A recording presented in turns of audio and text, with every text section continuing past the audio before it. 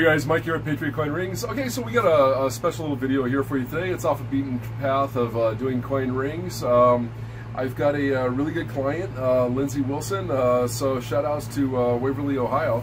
Uh, and she sent sent me back actually what she had ordered online. Now, as most of you know, I, I make a lot of different rings. Coin rings are definitely my specialty, but I definitely do a lot of like tungsten milling and titanium and deer antler inlays with dinosaur bone and, and uh, uh, deer antler is a very popular one, elk. Um, I, I, do a lot of different types of stuff. I've even done megalodon teeth, uh, ivory uh, in, in rings. And she had ordered this uh, deer antler ring uh, that I made it, and it, it, was really, really nice. I mean, it came, came out gorgeous. Uh, but she came up actually with a really good idea. This, I believe, for her, I, I, if I'm not mistaken, I'm pretty positive it's for her husband. I think it's their, their uh, wedding uh, band. Um, and and all of all the ones that I've currently got online are all the silver. And she just wanted to see a different color. She wanted black, and uh, don't know why it never really dawned on me to to do it. I, I do it on all my other rings and thought, okay, so let's uh, let's go ahead and get some tungsten and, and do it upright. Uh, so I'm going to show you through the process here, and we're going to kind of like go through it pretty quickly. Um, some things are going to be kind of skipped as as we go forward, but I thought you'd be able to see this process while I get to show her, you know, the ring that's being made because she was actually generous enough to send me some deer antler rings. Um, or I said deer antler rings, but rather uh, deer antlers. So um, I like that, and that's cool. I, I love taking on uh, custom jobs. And uh, Lindsay, we're going to take care of you. We're going to do really good. Um, we're going to go through the process here and give you a really fast overhaul. So let's go ahead and we're going to uh, start over on the mill and on the lathe and uh, and get started with the ring because we're going to have to um, remove all of this and start from scratch basically. Uh, because I want to bake the uh, I want to go ahead and get the powder coating on there right and bake it and get that all just set up before we actually do the antler so let's go ahead and take care of that right now.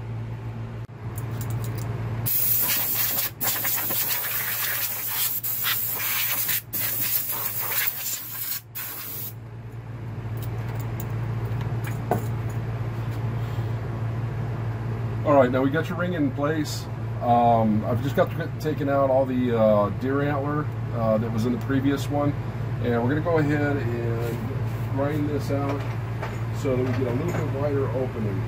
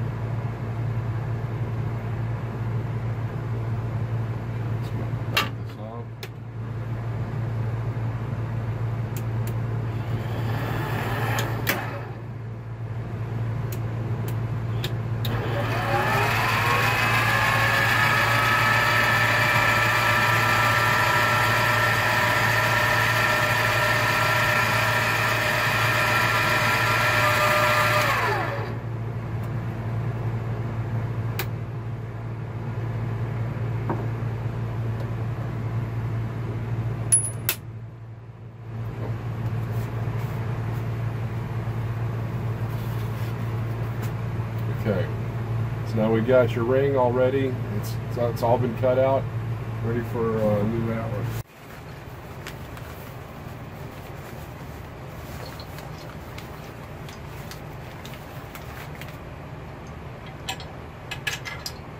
All right. Some good pieces of antler there.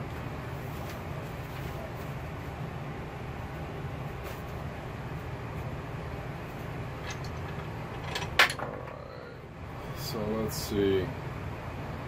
you know what, this is really good for actually a lot of people to see. So, in short, um, I get a lot of questions about, um, they, you know, people requesting dark antler, white antler, and, and yeah, you're going to get both. You're going to sometimes get brown or an orangish look. It all depends on the antler. Every every antler is different. I want to show you how, for instance, with this antler right here is very similar to like the kind I've had. Uh, this doesn't have nearly as much black as I would normally have, but this is a great example of why um, you're going to see a lot more white than you are going to be seeing darker colors. Um, I'm going to be taking slivers off of here, literally just slivers. And all those slivers, think of it as like skin. Uh, I'm going to be stripping those down, stripping them down, and I'm going to get little pieces uh, that are put, put together all the way around that inlay. And then it's going to get a clear coat polish all the way around. It's actually, believe it or not, it's a boat sealer um, that gives it that glass look. Then it'll have a final polish, um, and of course this is all after powder coating your ring and everything, um, which is the main reason why we're doing this but uh, then it gets a jeweler's coat after that. Now, normally I wouldn't jeweler's coat the metal, but because we're going to powder coat it, I'm going to be I'm going to put jeweler's coat over the entire thing. So I want you guys to know that if you guys do uh, request a custom made ring to be made, uh, that, that that powder coating should be uh, uh, coated as well. All right, but you can see I'm not able to really take anything off this top section to get a real nice brown look. And I've been asked by people, you know, hey, can you can you do that for me? So it's this color um, around the sides. I get more people that want white than anything. Black is a second most, and I've only been asked a couple times, but and it's usually by hunters. Um, but it's you can't, you really can't do nothing with this because this part's got to be scrapped. I'm gonna have to core this entire thing out, and as you can see, it's almost pure white, and that's just simply all we could do with it unless we're going to fake it. Um, and now you never know what you're going to get out of this because even though that's all white, you can see the rings in there. See that ring? And I try to get some of that ring in there, a little bit of that orange in the in the center there, and um, and when I put a clear coat over the top of that, it will actually darken up and come out. And so that's where you get you'll see white but then all of a sudden black and on the ring. So now you get get the idea. So that's what we're going to be doing right now. We're going to go ahead and shave these down so that we get some nice strips to put on on your ring.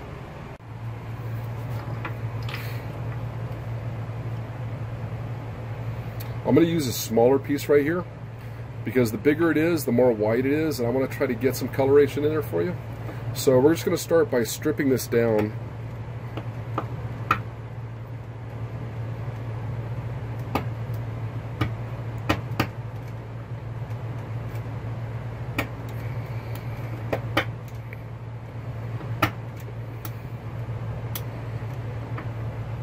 See the little, little piece right there? These are the little pieces that make up the antler ring.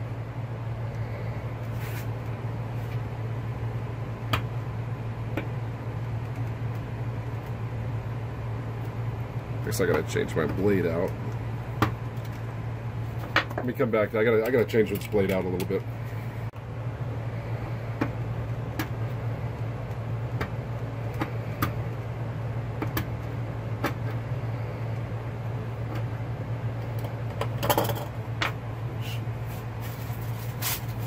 I was hoping I wouldn't have to do this because it's going to take away from you being able to see what I'm doing really. But in short, I got to catch all those flying pieces of bone. I just kind of use use tinfoil as a backstop.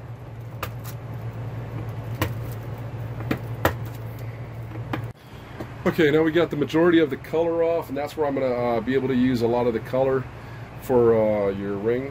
Uh, we're going to get the white now, and for this we're going to be using the H100E um, on an 8 inch coping saw.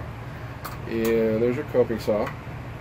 And even though that looks like one blade, that's actually a, about, oh, probably 50, 60 blades in there. There we go. Okay, that's how thin, it's like a piece of hair. That's actually a blade though. Alright, let's get that on our coping saw. Alright, I use the magnifying glass and now now pull it back and we're going to tighten up this side right here and let's cut away. This is where we get our bigger pieces and I need um, a piece of tinfoil to catch all that stuff again, piece of paper, something like that. Just put it underneath there because it's all going to be falling down in there. And I'm going to go, if you guys do this, go a little bit wider than what you're going to put in your inlay because afterwards you're going to mill it off. That's why I try to explain to people. I just, um, you know, by coincidence, I had another customer just call up and want, wants me to do the same thing for her antler ring. And coming up with the price is kind of hard because I, I know it's, you know, I put these on sale and I, I'll put them up there for under hundred bucks, but then it costs nearly as much to colorize it because I got to do all this work. This is easily going to be about three, four hours, that I, and so believe me, you're going to get a lot of cutouts. All right. Let's see. Okay, so we've got our first piece right here of the white antler and uh, I got several of the shavings of the brown and we're going to go ahead and piece those all together and basically use a super glue epoxy to put them uh, all around the tungsten band. Um, but first uh, we got to go, now that I got that all set up, uh, we got to go over to the powder coating and let's get the powder coating done. Okay, make sure that you uh, use a heat sink tape. Uh, this is heat protective, uh, it'll go in the oven, it won't melt. To keep keep all the uh, powder coating from going on the inside of the uh, groove, just like this other ring right here uh, that I haven't started yet. Uh, we don't want we don't want to fill that in because as the powder coating starts to melt on it, uh, it'll actually flow down into this section, and you won't be able to get your deer antler in afterwards. So make sure you get this all cut up right.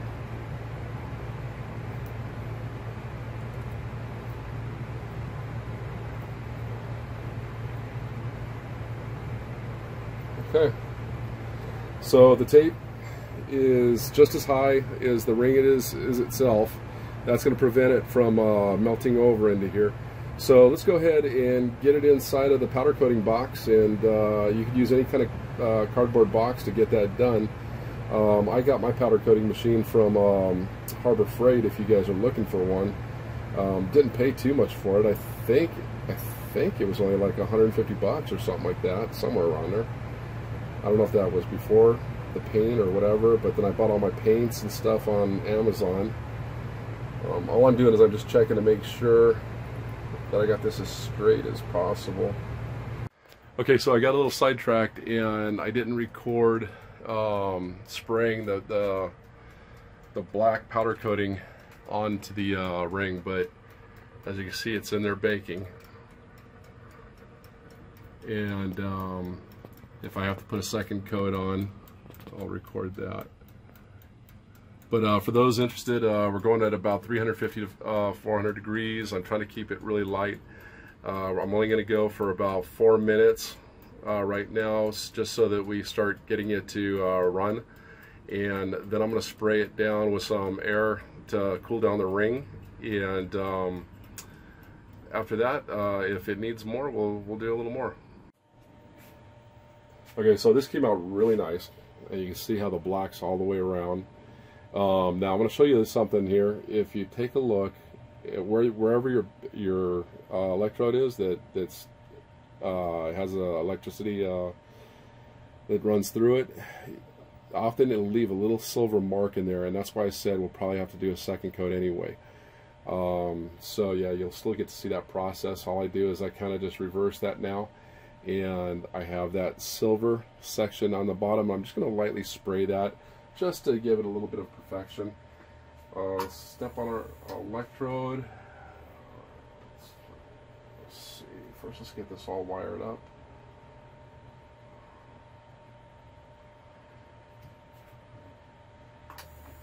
And I should be in a box, but This ain't gonna take much.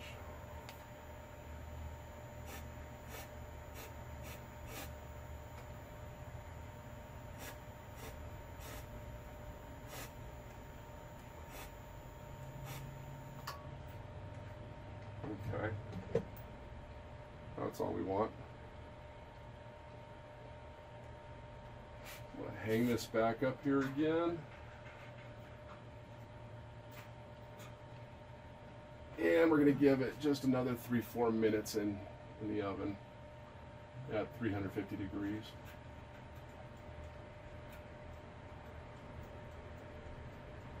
I can go ahead and put my tools away while I'm at it. Guess I'll be all done with those.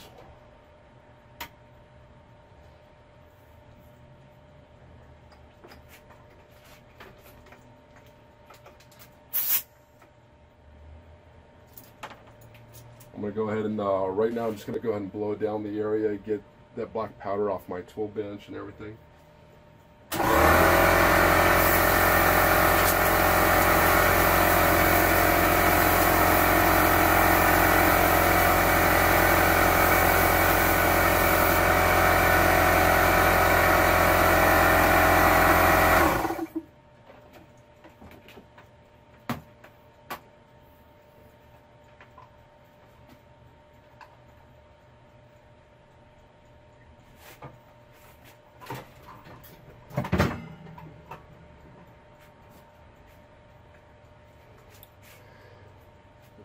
Okay, so we'll come back uh, as soon as this is finished up. Uh, it's going to take another three minutes, and uh, then I just got to let it cool down. Uh, make sure you use gloves when you take it out. You take it to a cool place.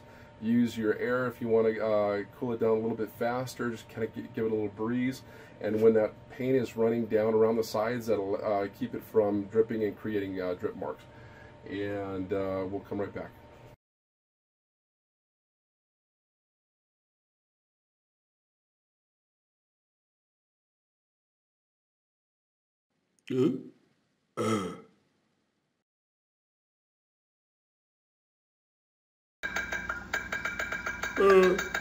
Subscribe.